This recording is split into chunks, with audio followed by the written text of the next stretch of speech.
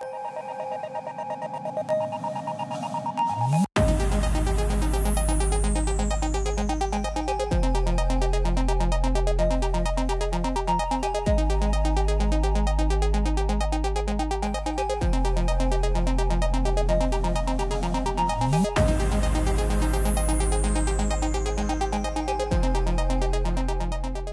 So I write Eero, uh, E-R-O-E. Uh, sometimes I do a variation, uh, E-A-R-O-H. I write for uh, DSK, Darkside Kings, and then uh, I represent for Weight. Of like a clothing company.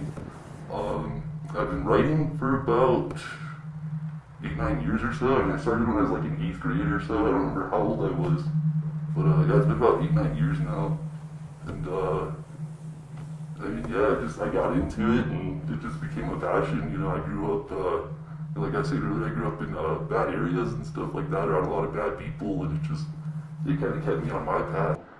There's no by the book preference to it. You know, as long as you go out, you have a good time, you know, and you enjoy what you're doing. I mean, that's what it's about. Because no matter what you do, you know, when it comes to graffiti, someone's gonna like it, someone's not gonna like it, and you know, that's just how things roll with graffiti. Um, it's always kind of different for everybody, and uh, you know, everyone has their own perception on it. Some people, you know, they're about trying to make art and trying to beautify the community with it, and some people are out there to uh, just destroy shit, you know.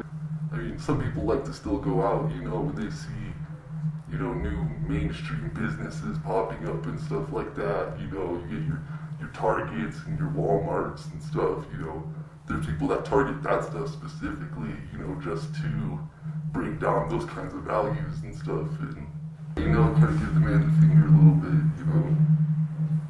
If there was somewhere, you know, like I can go paint places, you know, and know that people are gonna be able to see it and appreciate it and stuff like that, you know, I would be doing more stuff like that, and that's why, you know, I pick high key spots sometimes, you know, more dangerous places. Why? Because it's more seen, it's more visible, you know, it gets that credit kind of thing going.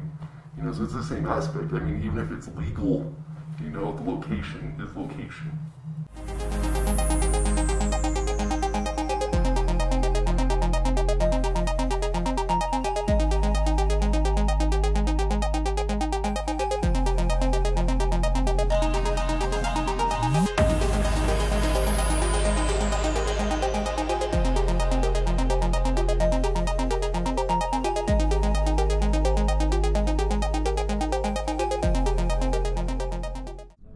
Yeah, so um, I've been looking at doing this wall for about two or three years now, and uh, the whole time the plan was to Kickstarter it because I needed some funding for it. It's a huge wall, so I can't really pay for it out of pocket, and I had to rent a lift and everything. So uh, I've been sending designs over to Epic Rides for a couple years, trying to find something they liked that they would have on their building, and this one was finally one they liked. So I threw it up on Kickstarter, asked for eighteen thousand dollars, and got twenty-two thousand, and making it happen. This wall used to get tagged like weekly, the whole wall. So, um, you know, I guess this is part of graffiti abatement, but I've noticed that the the newer generation of taggers doesn't seem to respect uh, murals as much as they used to. There used to be kind of like a code between artists and taggers that they would leave stuff alone, and this new generation doesn't really do that. So I try to avoid like dark and political murals that have a lot of messages just because even though I think they're a, a good avenue for getting a message across, for me I'd rather just kind of like brighten people's day if I'm putting this much work into something. So it's really nice to see Tucson kind of blooming as a, a kind of home for murals.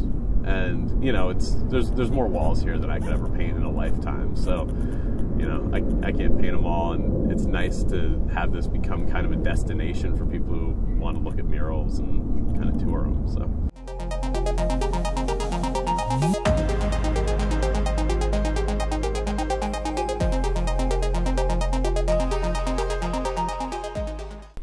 I mean, graffiti is, uh, it has a lot of negative connotations, but through the point, through the lens of um, visual culture, it's really, I, I view graffiti as more of like a map. Um, it depicts people who live in an area. It's a way of um, identifying marginalized um, individuals, um, people who don't get acknowledged for who they are or where they've come from. It's a it's a means of expression to um, to give to give these nameless people names. You know, um, it, there's a lot to be said. There's a lot you can learn from looking at graffiti. Um, it's not just vandalism that somebody scratches onto a wall or in a bathroom stall. It is it's um it's a cultural identifier and um, acknowledging that culture on um, sort of a main stage.